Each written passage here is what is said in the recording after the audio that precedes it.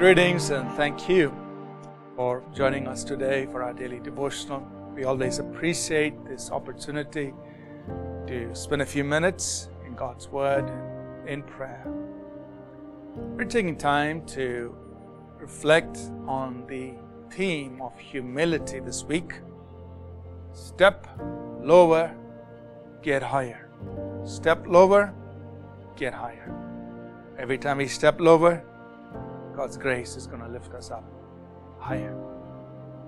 First Peter chapter 5 verses 5 through 7, the passage we're looking at, Peter writes, he says, Likewise, you younger people, submit yourselves to the el- to your elders, yes, all of you, be submissive to one another, and be clothed with humility, for God resists the proud, but gives grace to the humble.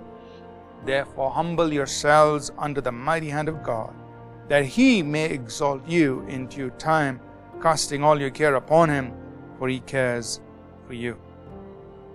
I want to emphasize the fact that he will exalt you in due time. So he's giving us an invitation. He says, All of you be submitted, be submissive to one another, be clothed with humility.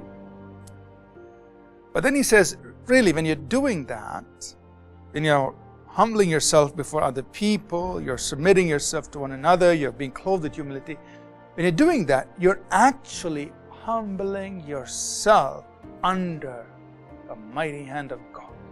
Now, that's a very important thought. It's not that I'm humbling myself before a human person. When we submit ourselves to one another, when we are clothed with humility, it's not us bowing down to some other human person. We're doing that knowing that in, in, in, in doing so, we are actually humbling ourselves under the mighty hand of God. That means I'm saying, God, I'm submitting to you while I'm submitting to your people. I'm submitting to you. And when we submit to God, He says, you know what God will do? He will lift you up at the right time. In due time, meaning the right time. He will lift you up. So submit under the mighty hand of God. You bow down, submit, humble yourself under the mighty hand of God, He will lift you in the right time. But how do you do that?